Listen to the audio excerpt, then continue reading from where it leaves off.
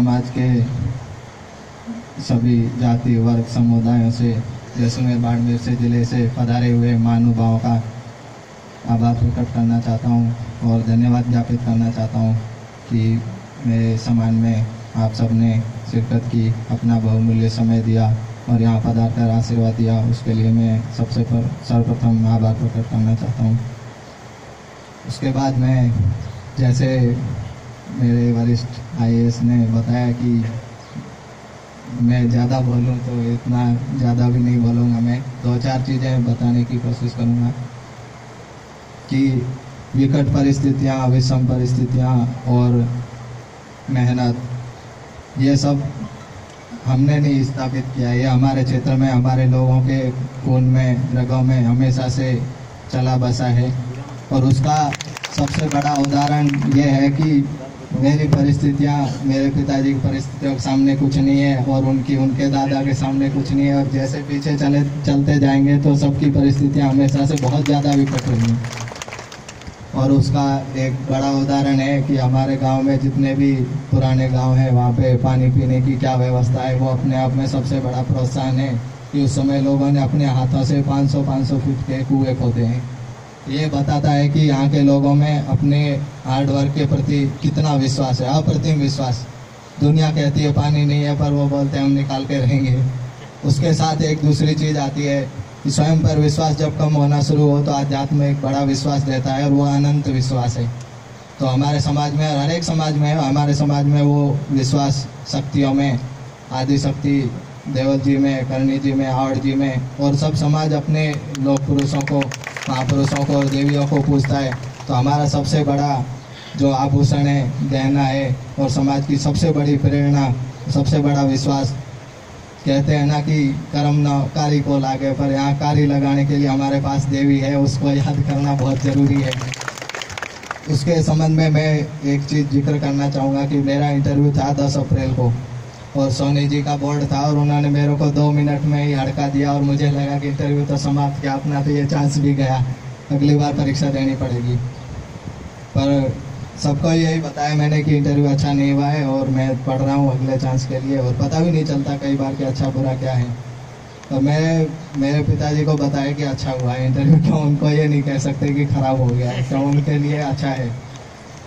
जब रिज़ल्ट आया तो उनको उनको मैंने बताया कि मेरा नंबर आ गया है तो बोलते हैं कि नंबर तो आना ही था, इसमें नया क्या है? तो बोलते हैं कि सब बता रहे थे कि अच्छा नहीं हुआ इंटरव्यू पढ़ रहा है, पर जिकेतन नौरतारा करे, कौन, नन के जिमाए वेतन चाल रिज़ल्ट लिखे, जो वही तो हमें काटे हुए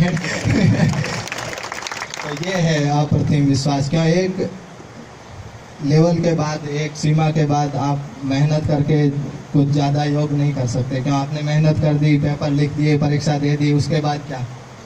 तो अब वहाँ पे इंटरव्यू में उन्होंने मेरे को एक नंबर दिए। मैं सोच रहा था एक सौ सत्रह देंगे। तो 117 दिए होते तो मैं बाहर हो जाता, एक सौ सतासी से अंदर आ गया। तो यही है, उन्होंने क्यों दिए? इंटरव्यू तो बहुत ही बड़ी सब्जेक्टिव चीज़ है। कोई कुछ नहीं कह सकता कि किसको कितने नंबर आएँगे। जो अफसर बन के बैठे हैं ना आईपीएस उनको दे देते हैं 110 नंबर। तो यही है कि वहाँ वो विश्वास अपने पे कायम रहता है उसने मुझे विश्वास दिया कि इंटरव्यू खत्म नहीं हुआ है, अभी चालू हुआ है, कैसा भी जाए, अपने अच्छा ही होगा महादेवल करके हैं बढ़ जाए तो बस वहाँ से विश्वास आता है, नहीं तो क्या आता है कि उत्साह आती है, नकारात्मकता आती है कि अब सब कुछ समाप्त हो चुका है, उससे स्वयं में विश्वास कमज़ोर होता है, स्वयं में विश्वास यदि कमज़ोर हो गया तो कुछ बचेगा नहीं।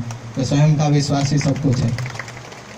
दूसरी चीज़, जैसे सभी लोगों ने इसके बारे में डिस्कस किया तो विकट परिस्थितियाँ, जब भी अपने को लगे कि कुछ दिक्कत है, हमें पैसा नहीं मिल रहा है, या कुछ भी आर्थिक, सामाजिक कोई भी दिक्कत हो तो उसमें सबसे बड़ी प्रेरणा अपने से पहले पीढ़ी के लोगों का संघर्ष, उनकी प्रेरणा, उनका अप्रतिम विश्वास और देवी की उपासना हमारे साथ हमेशा रहेगी, उसमें विश्वास कायम रखें। दूसरा चीज़, अपनी चीज़ पे गर्व करें। मैं इंटरव्यू देने गया तो कुछ लोग बोलेगा, आपने ये ऐसी मूछे रख ली है ऐसे तो आपको निकाल देंगे। निकालेंगे क्यों? मूछे रखना तो गर्व की बात है, क्या निकालेंगे? तो ये है।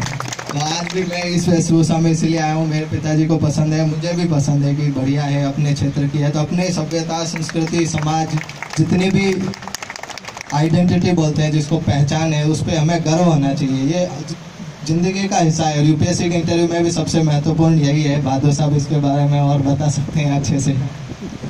उन्होंने अंदर आते हुए देखा कि ये बंदा तो अजीब है, इसके मूछे रखी और कोट भी पहना है। तो उन्होंने शुरुआत में यही टेस्ट करते हैं कि जो दिख रहा है वो इतना कॉन्फिडेंस है क्या इस बंदे में? तो इसको थोड़ा झकझोर के देखते हैं। कि अंदर से थोथा तो नहीं है, पर उनको लगा कि सॉलिड है तो नंबर दे दो। तो ऐसा ही होता है। कॉन्फिडेंस खुद में यदि विश्वास है तो दुनिया की कोई ताकत आपको हटा नहीं सकती। मैटर नहीं करता कि क्षेत्र कौन सा है, पर आज में आप अच्छा ही करेंगे। स्वामी विवेकानंद ऊर्जा के स्रोत रहे हैं, भारतीय समाज संस्कृति के। उन्होंने बोला है कि पहले नास्तिक वो था जो भगवान में विश्वास नहीं करता था, और आज नास्तिक वो है जो स्वयं में विश्वास नहीं करता है। जिसको खुद पे भरोसा नहीं है कि मैं कर सकता हूँ तो उसके बाद दूसरा भरोसा उस पर काबिल नहीं बना सकता आपको। महादेव जी है। और बोले थे एत मटे के छोंग रुगाल लागे कलेक्टर कौन कर हो तो वो वाली बात है तो हर एक कर्म अपने आप में बड़ा है बाप छोंग रखवाड़ था जन दीकरा कलेक्टर बने नहीं कर तो वो वाली बात है तो वे में अब गर्व होना चाहिए उस चीज़ पे कि हमारे माता पिता जो भी परिवार है वहाँ अपनी जितना सपना आता वो सब छोड़े, थाना पढ़ाया, इतनी विकेट परिस्थितियों पढ़ाया। तो छोंग रोगवाल भी अपने आप में बहुत मोटा सम्मान पात्र होना चाहिए कि वहाँ यदि मेहनत नहीं की होती, नहीं तो आज यदि ना आता कोने की थे मोटा आदमी बने पुलता या अनुमान का जमाना ला रहे आता। तो यहाँ अपने घर परिवार, संस्कृति, सभ्यता और पहचान का बहुत आदर करें। उसके साथ मैं एक बताना चाहूँगा कि बड़ा सोचें मतलब जैसे किसी एक शायर ने कहा है कि गिरते हैं, सह सवार ही जंगे मैदान में, वो क्या गिरेंगे जो घुटनों के बल चलते हो। जिसने सोचा है कि मुझे तो यही बनना है तो उसमें तो आप फेल हो गए पास हो गए, कुछ फ़र्क नहीं पड़ता। आप आई का एग्ज़ाम दे के एक बार फेल भी होते हैं तो प्रेरणा मिलती है कि बड़ा सोचा है, कुछ और कर सकते हैं, दूसरे चांस में कुछ हो सकते हैं। तो स्वयं पर विश्वास रखने, और मैं अंत में देवीलाल जी का विशेष रूप से आभार प्रकट करना चाहता हूँ कि उन्होंने आज वो आई एस है दो साल से और बहुत ही बिज़ी शेड्यूल में उन्होंने इतना समय निकाला इस प्रोग्राम के लिए। और अर्जुन दान जी और मुरारदान जी साहब और यहाँ जितने भी ऑर्गेनाइजर हैं कमेटी के, उनका आभार प्रकट करना चाहता हूँ कि उन्होंने इतने बड़े प्रोग्राम का बहुत ही कम समय में बहुत ही सुनियोजित तरीके से कार्यक्रम बनाया और बहुत अच्छा चलाया। उसके लिए मैं बहुत बहुत आभार प्रकट करता हूँ।